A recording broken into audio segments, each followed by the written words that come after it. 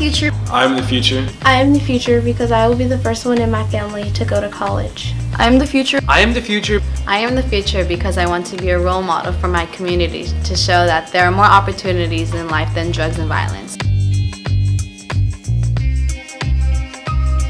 Being the youngest out of six siblings, it's been hard because I'm the only the second person to graduate from high school and I also am the first person to attend a college. I was born in Russia and that sort of limited me because we were born into the farming life. Losing people that I loved kind of just set me back to not being able to accomplish what I wanted to.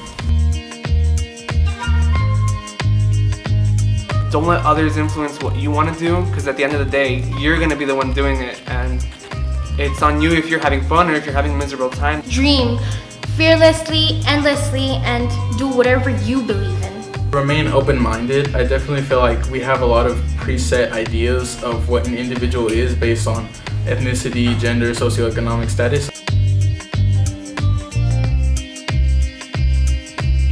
I am the future. I am the future. I am the future because passion is my motivation.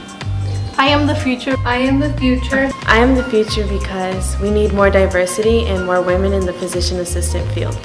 I am the future because nothing can stop a Muslim Algerian girl from reaching her highest goals and dreams.